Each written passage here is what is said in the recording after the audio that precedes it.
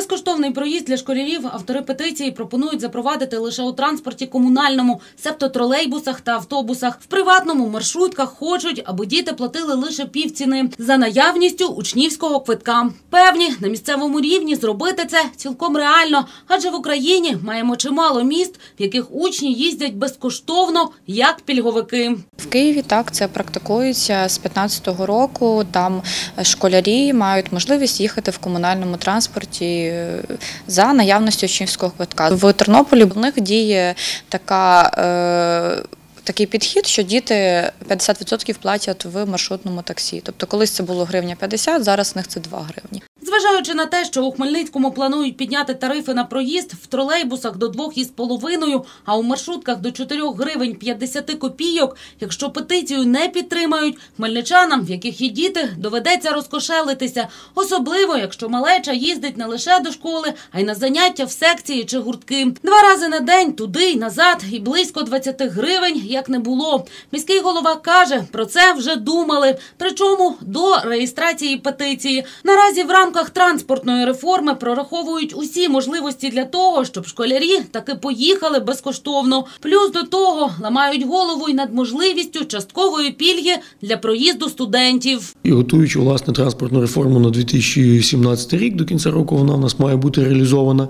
Один з моментів, які зараз аналізується і вивчається. Чому власне вивчається? Тому що ми розуміємо, і я думаю, що це мають розуміти платники податків, що будь-який пільговий приз додаткове навантаження на бюджет. Наразі міський бюджет. Беручи на себе функцію держави, відшкодовує за пільги перевезення е, майже 40 різних пільгових категорій е, 45 мільйонів гривень щороку. А поки в Хмельницькому лише прораховують всі за і проти щодо безкоштовного проїзду школярів, в Кам'янці-Подільському вже три роки катаються в громадському транспорті без грошей і не тільки діти. Працює система так, що вони не показують нічого. Вони не носять з собою ніяких учнівських білетів, вони не доказують, скільки їм років, вони просто заходять і їдуть, все крапка. Ми вважаємо, що якщо хтось прийде обмане, ну, наприклад, він вже після школи виглядає, слава Богу, так як в п'ятому класі, ну то їх таких в тиждень буде, може, 10, то із за 10 чоловік цілих 10 тисяч з цими квитками, з цими всіма ходженнями, смисл. Тому ми вирішили, що всі ті, хто виглядає молодо, на рівень учнів, вони всі безкоштовні. Заступник міського голови Кам'янця додає, те, що школярів возять безкоштовно, на бюджеті не особливо позначається. Цьогоріч, до прикладу, на перевезення всіх груп пільговиків, а це 27 тисяч дорослих та 10 тисяч учнів, вписатись планують у 2 мільйони гривень. В Хмельницькому навіть минулого року ця сума була в рази більшою. Лише компенсація електротрансу за перевезення пільговиків бюджету влетіла у понад 20 мільйонів гривень. Перевізники отримали значно менше два з половиною, але це за півроку. Вони, до речі, уже сьогодні не проти возити учнів і не тільки за півціни. Лише аби влада давала гроші, бо бізнес як не крути, а має бути рентабельним. Перевізники стоять дуже на дуже простій позиції. Я можу дати в місто автобус з водієм, а всі кошти нехай забирає міська влада. Ну вона має платити мені за пас за кілометр. От і все. І тоді ви зможете возити кого хочете, як хочете, безкоштовно, не безкоштовно, це за рішення міської влади.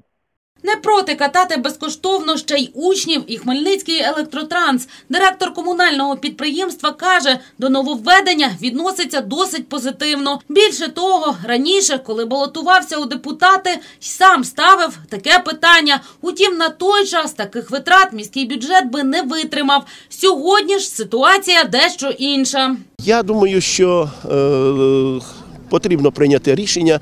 Е, Все-таки дітки е, і батьки сьогодні не мають таких статків. Якщо депутатський корпус і міський голова приймуть таке рішення, е, і відповідно, звичайно, будуть виділені кошти з міського бюджету, я думаю, що ми будемо вдячні, і всі батьки будуть вдячні міському голові і депутатському корпусу.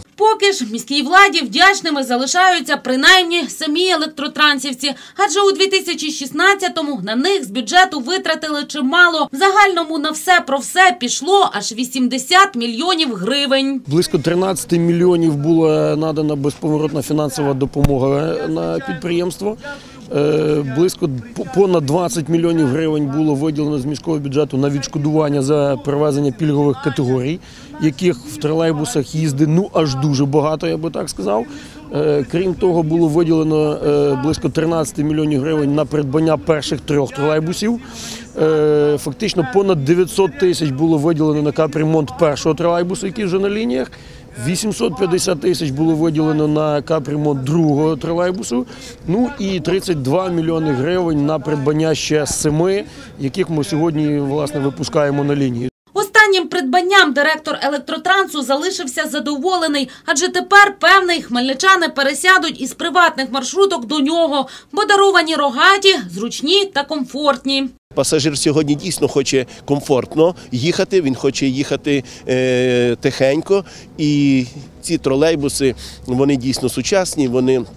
Низькопідлогові, мають пандуси. Сьогодні ви бачите, що е, в салоні е, поставлені монітори. Е, Сьогодні стоять відеоспостерігач. Сьогодні ми маємо і Wi-Fi.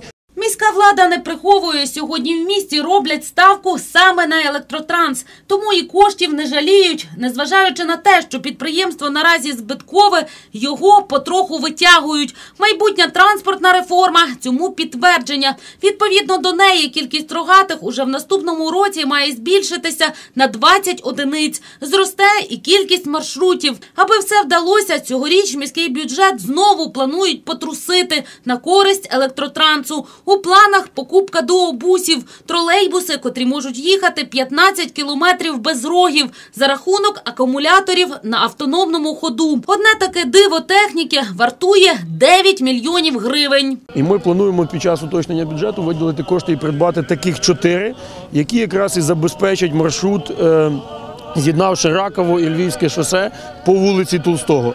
Якраз кілометраж буде дозволяти е, по завершенню лінії електропередач знімати роги і їхати на автономному ходу.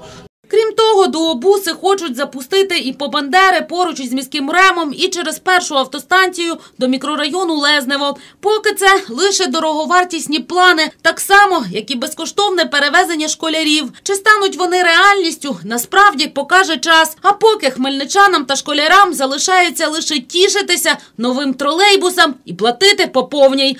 Оксана Чушкіна, Ігор Павлюк, Олександр Галянт, Володимир Якімцов. Підсумки тижня. Телеканал Ексклюзив.